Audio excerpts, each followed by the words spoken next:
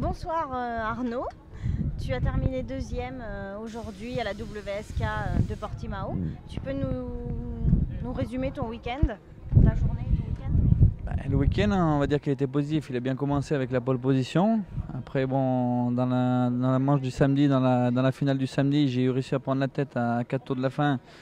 Après, bon, j'avais un. Je pense que j'ai fait une petite erreur au niveau technique. On a fait une petite. euh, on va dire qu'au niveau de la transmission, on n'était pas encore bon. Donc, au niveau de la ligne droite, il me manquait un peu de vitesse. J'étais bien dans les intérieurs, mais il manquait de la vitesse. Et j'ai pris, la, j'ai pris la tête à un endroit où il fallait pas. Et ils m'ont tout de suite redoublé à deux dans la ligne droite. Et c'est pour ça que j'ai fini quatrième. Bon, on va dire quatrième, c'est toujours un résultat positif, étant donné qu'on est en train de développer euh, un moteur et on est qu'au début. Donc, euh, bon, on va dire que c'est pas trop mal. Un Après. nouveau moteur?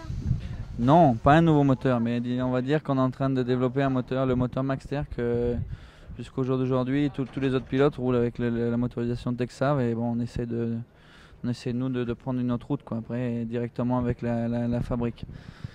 Et aujourd'hui, ça s'est, on va dire, plutôt bien passé. Je suis parti sixième en finale. J'ai réussi à remonter jusqu'à deuxième place. J'ai réussi à prendre euh, même basse. Je suis revenu sur basse.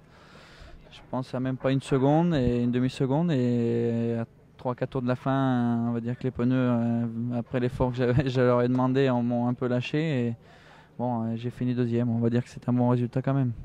Quel est ton prochain week-end de compétition? De tête, ça devrait être Wackersdorf, le championnat d'Europe. Donc euh, c'est pareil, même moteur, euh, même... Même hauteur, plutôt optimiste. Après, euh, on verra, c'est un circuit où il y a moins de vitesse qui devrait être plus en ma faveur, on va dire. Oui, je suis très fière, très fière et très fière surtout pour son équipe et pour lui-même, qui ça va lui remonter le moral et euh, je pense que ça va faire beaucoup dans sa tête. Donc euh, oui, je suis très contente pour lui et son équipe surtout. CRG, Maxter et voilà.